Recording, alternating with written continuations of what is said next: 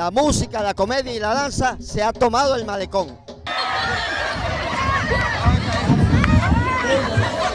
Hoy tuvimos comedia, tuvimos risa, tuvimos cantantes, tuvimos grupos folclóricos, nos acompañaron los docentes de la ADE, la Asociación de Educadores del Atlántico, a través de la cumbia y el garabato. Estuvieron presentes en este encuentro de comedias.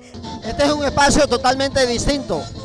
Es la familia, es, son la, la comunidad, los niños, los adultos, los jóvenes, gozando, gozando plenamente de esta fiesta, la fiesta de la comedia.